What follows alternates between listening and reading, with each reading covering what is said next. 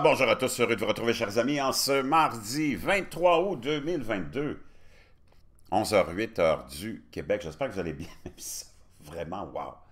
Quel monde bizarre dans lequel on vit en ce moment, pendant que sur plusieurs fronts, le système est en train soit de se transformer ou de s'écrouler,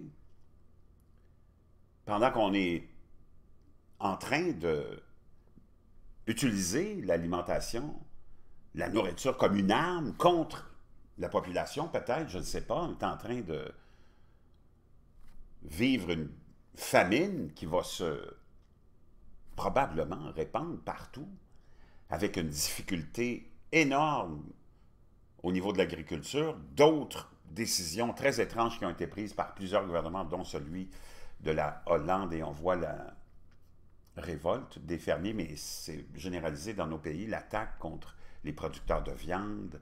Tout ce concept hein, d'idéologie gauchiste est en train de contrôler tous nos gouvernements, et ça depuis longtemps.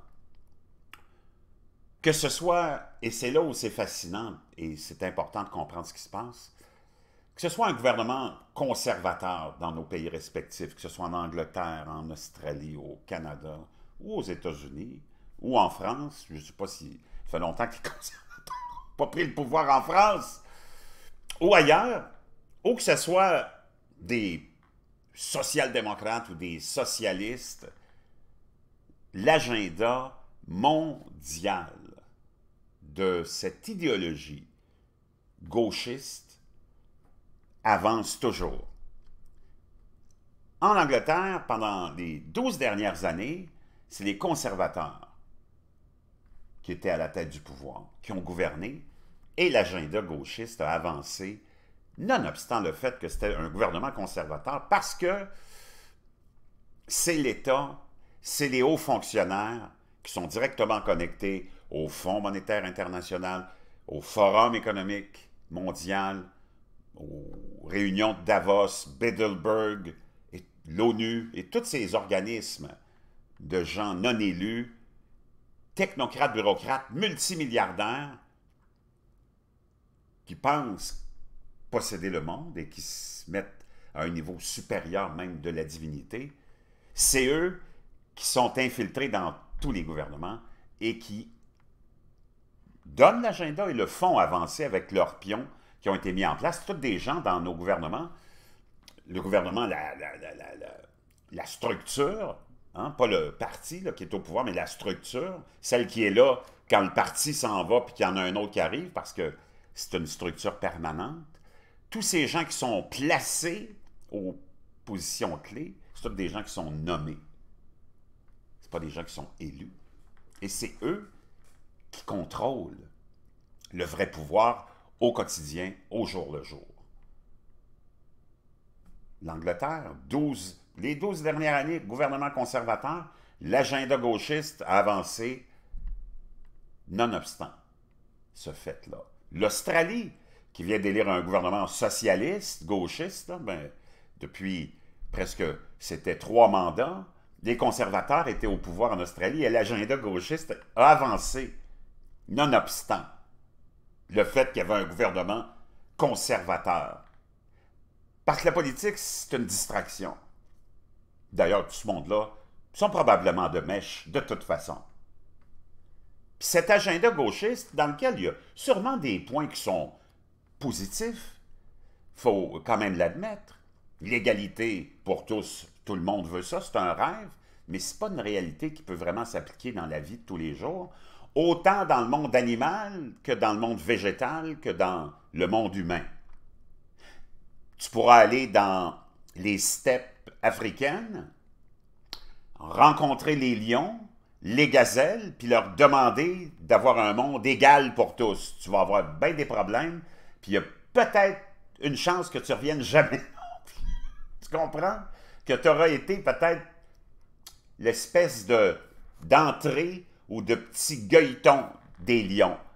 Parce que dans la tête de l'humain, c'est ça le problème, c'est qu'on pense qu'on on doit tout régler puis il faut tout régler, surtout quand tu penses que tu as du pouvoir, de l'argent, et que tu descends directement de Dieu. Tu vas venir donner des leçons de moralité à tout le monde en disant « Mais je vais tout régler, moi. Hein, On a vu ça avec les religions. On va tout régler, on va amener la paix, l'égalité, le paradis sur terre.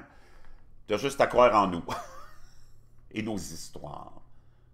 Après 3000 ans d'échecs lamentables, les religions n'ont amené que division, guerre, mort, euh, injustice, corruption, abus. On se retrouve avec la politique maintenant, qui a pris toute la place que la religion occupait avant. Et tu te retrouves dans le même scénario, le même contexte, il n'y a rien qui va se régler, parce qu'il y a des choses qui ne peuvent pas se régler. Tu peux avoir des objectifs, objectifs nobles, mais même si tu passes toutes sortes de lois pour essayer d'établir l'égalité entre les hommes et les femmes au niveau de la loi, ce qui est une bonne chose, c'est la moindre des choses, on va un peu contre la nature en faisant ça, puis en même temps, dans la vie de tous les jours, tu vas toujours rencontrer des gens qui veulent discriminer, des employeurs qui veulent discriminer, donc il n'y a pas grand-chose que tu peux faire contre ça, à moins de les mettre en prison ou de les éliminer, ce qui n'est pas vraiment une solution souhaitée.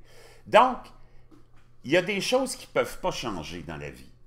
Et, par exemple, une de ces choses-là, c'est que si tu n'es pas content de ton sort, il ne reste pas beaucoup de solutions pour régler ça.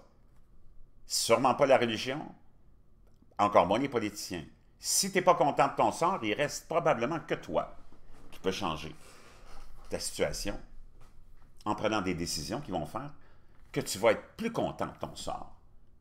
Mais on a convaincu les populations mondiales, naturellement parce qu'on a dans notre nature humaine l'idée de la facilité puis de la baguette magique, on a convaincu le troupeau qu'il y a des politiciens qui pouvaient vous amener ça, un changement de votre sort. Et on a vu ce que ça donnait. C'est pas vraiment efficace. Donc, c'est vraiment important de comprendre ça, les amis, nonobstant le fait que moi, j'ai aucune affiliation politique.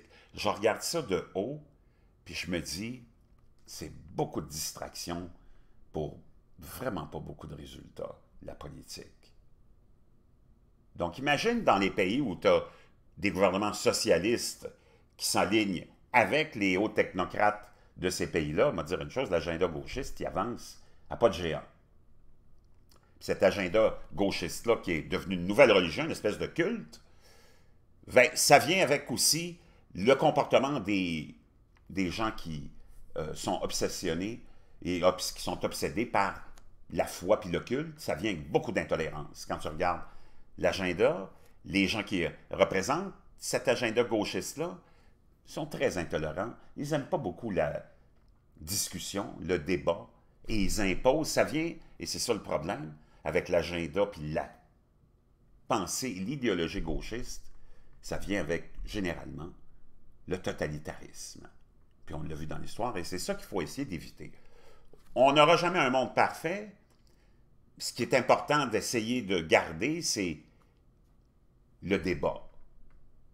La liberté de penser comme toi aimerais bien penser. La liberté de donner les valeurs que toi aimerais bien donner à tes enfants sans que ça soit imposé par un groupe qui se pense supérieur à l'ensemble de l'humanité. Et etc., etc. Tu comprends? Mais en tout cas, parlant de distraction, aux États-Unis, ils sont en train de tomber sur la tête, naturellement, Donald Trump, qui continue à les faire tomber sur la tête même s'il n'est plus au pouvoir, a eu une descente de police chez eux, vous l'avez, je vous en ai parlé. On, essaye de l'incriminer parce que lui avait dit à Hillary Clinton, qui lui avait dit dans un débat, si c'est Donald Trump qui était à la tête du ministère de la Justice, ça serait vraiment pas une bonne affaire avec le tempérament qu'il a. Donald Trump avait répondu non parce que vous seriez en prison. C'est tout le monde se rappelle de cette image-là, hein, de ce deuxième débat, qui avait probablement changé peut-être la course, avec l'aide du FBI qui avait dit pas longtemps après, ouais, on va réouvrir l'enquête sur les fameux courriels d'Hillary Clinton à dix jours d'élection. Je peux te dire une chose, les démocrates dans le temps, hmm, ils n'aimaient pas le FBI. Ils détestaient le FBI. Ils en faisaient des cauchemars du FBI. avec James Comey à sa tête. Hein? Tout le monde se rappelle de ça. Pendant des années, ils ont dénigré le FBI. Là, maintenant que le FBI attaque leurs opposants, les démocrates aiment beaucoup le FBI. Ils protègent le FBI et lancent des menaces à ceux qui osent critiquer et questionner le FBI maintenant. Donc, vois-tu, tout ça, c'est une question naturellement de perception, puis comment tu te sens face au FBI. Mais le FBI, c'est toujours été un, un, outil politique qui est utilisé d'un côté comme de l'autre. Et là, l'ordre avait été donné par Joe Biden lui-même, probablement, ou ben, pas lui, parce qu'il était capable de mettre un pied devant l'autre, mais par les démocrates, la haute crème des démocrates, via le, le, générale, hein, le ministre de la Justice, Merrick Garland, qui a envoyé le message au FBI, parce qu'il avait ça entre ses mains depuis des semaines, l'ordre d'aller faire la perquisition chez Trump. Puis il attendait, il attendait. Il y a eu tellement de critiques de toute la pression de l'extrême gauche du parti démocrate qui en veut vraiment à Donald Trump. ils, leur en veulent simplement parce que c'est un batailleur. Ils ne sont pas habitués à voir ça. Habituellement, les républicains ont leur queue entre les deux jambes puis sont des complices. Lui, il avait l'air vraiment différent. Puis d'attaquer vraiment l'establishment des deux côtés, ils veulent sa tête. Et là, ils ont mis tellement de pression pendant des semaines à la télévision gauchiste, ABC, NBC, MSNBC, CNN, à attaquer Merrick Garland en disant il n'y a pas de couilles, qu'est-ce qu'il attend? Parce que les autres, ils devaient savoir qu'il avait déjà ça entre ses mains depuis des semaines, parce qu'il se coule des informations, tout ce monde-là, qui a donné son OK, il a signé, puis il a dit OK au FBI, allez-y. Ils sont allés, première dans l'histoire de, des États-Unis. Imagine, quand Vladimir Poutine fait la même chose et envoie les services de renseignement aux policiers ou whatever enquêter sur, par exemple, des opposants qui auraient commis des, des crimes allégués, là, comme Alexis Navalny et d'autres avant. Tous nos médias, ces mêmes médias-là, sont là à critiquer, à pourfender, ou à pourfendre plutôt, disons, Vladimir Poutine dans ce cas-là, pour faire ça, d'utiliser comme une arme le département de la justice pour attaquer ses potentiels rivaux politiques qui ont l'air très populaires, tout le monde tombe en crise d'hystérie. Là, c'est les démocrates qui font ça. Ça passe bien. Tout est bien normal, surtout parce que c'est Donald Trump qu'on attaque. Si un leader, un dirigeant de, du Salvador faisait la même chose, ou de n'importe quel autre pays, par exemple de l'Amérique centrale, contre son opposant politique, tous ces mêmes médias-là le décriraient comme un tortionnaire, un tyran, quelqu'un qui n'a aucune moralité, utiliser la justice contre tes opposants politiques. C'est ça qu'on vient, c'est ça à quoi on vient, d'assister. Il faut que vous compreniez qu'aux États-Unis, tous les présidents partent avec des documents, plein, des caisses, Barack Obama, les Bush, Clinton. Hillary Clinton était même parti avec des meubles, ils sont allés les chercher après. Elle dit, oui, oui, il faut que ça revienne, ça. Ben, Hillary Clinton n'a pas vraiment de limite, elle. Puis il n'y a jamais quelqu'un qui est allé emmerder ces présidents-là, qui sont partis avec plein de documents.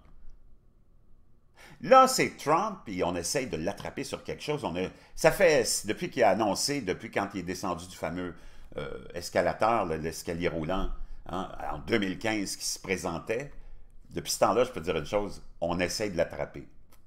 Jusqu'à présent, il est comme une couleuvre pleine d'huile, ils ne sont pas capables. Là, ils ont pensé qu'ils étaient capables de, l'avoir avec ça. Ils ont pensé qu'ils avaient été capables de l'avoir avec la semaine dernière, l'enquête à New York sur Wiseman, son comptable, mais ça n'implique même pas Donald Trump, ça, c'est le comptable. Donc, ils n'ont même, pas été capables, même s'il a avoué des, des entourloupettes de, de comptabilité que tous les milliardaires utilisent, ça implique même pas Donald Trump. Et là, on essaye, naturellement, avec cette descente-là, et ce qu'il faut comprendre, c'est que c'est plein, plein de fuites.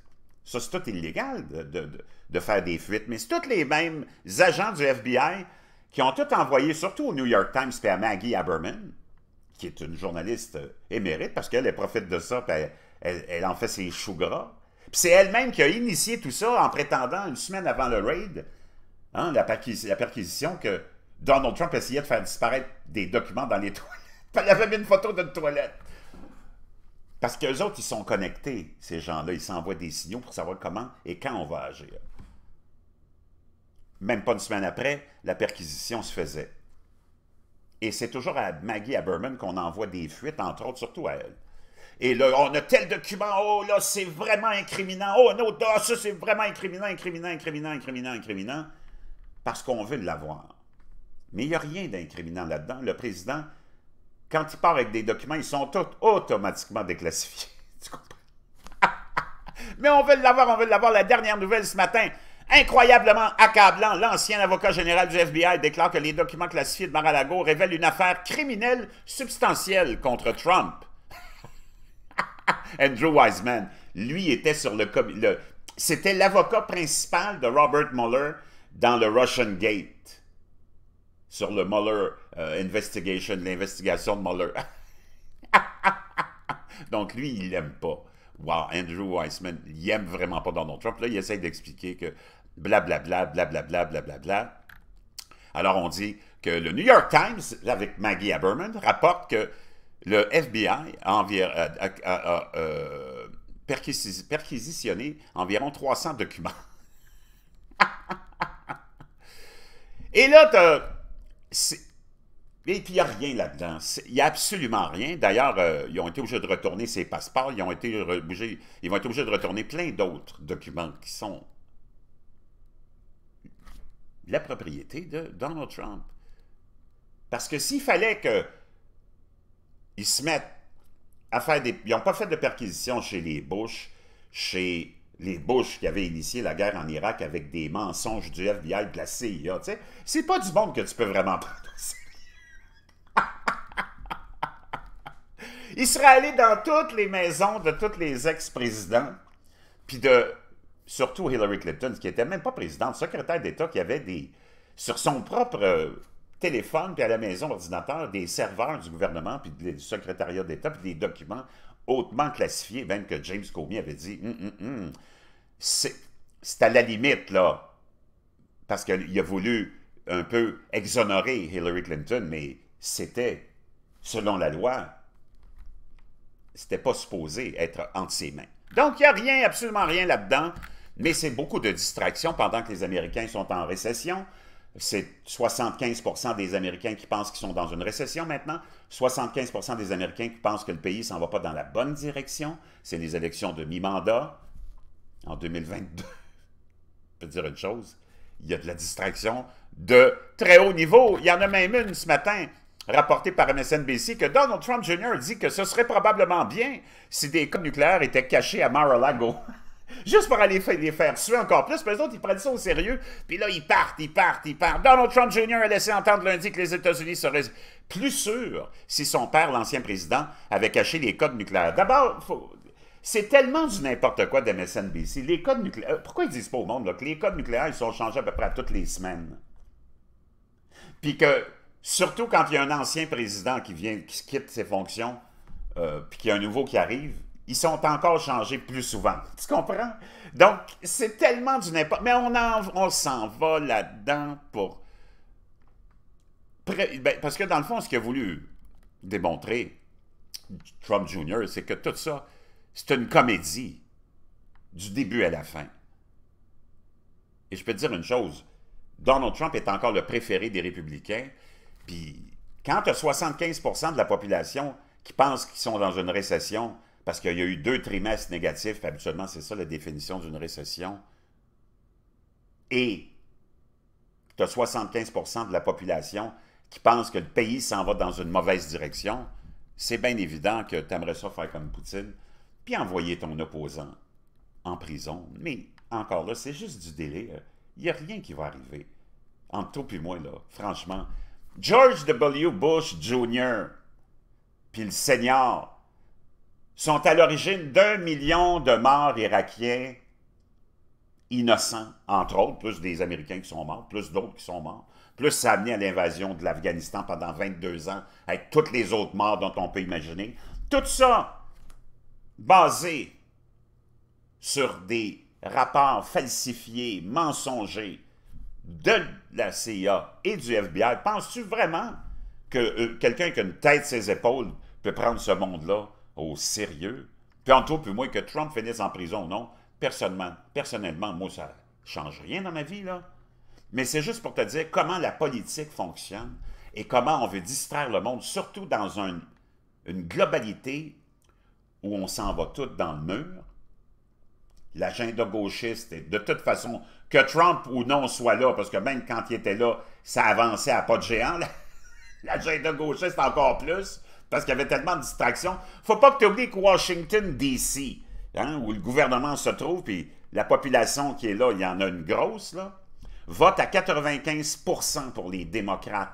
Puis ça, Washington, D.C., c'est là où se trouve l'ensemble des hauts fonctionnaires puis des fonctionnaires assez élevés. Je vais dire une chose, l'agenda démocrate, puis le FBI est là, la CIA est là. 95% de tout l'ensemble de la population de Washington a voté dans les dernières élections des dernières années à 95% pour les démocrates. Penses-tu vraiment que le gouvernement, que ce soit un républicain ou non au pouvoir, ne va pas avancer dans la direction de la gauche puis des démocrates? Je vous reviens.